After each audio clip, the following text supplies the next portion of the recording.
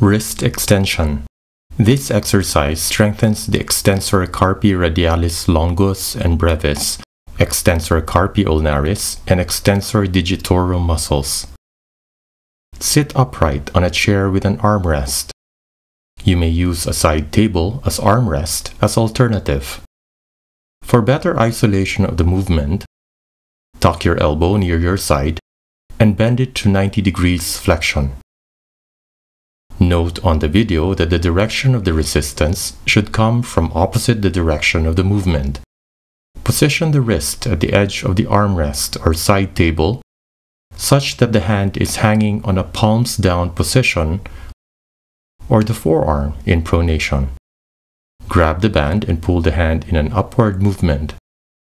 Control the movement as you go back to the original position. Be mindful that the elbow joint does not engage in the activity. You may stabilize by holding down the forearm with the opposite hand. Choose the right color of the band for the needed resistance.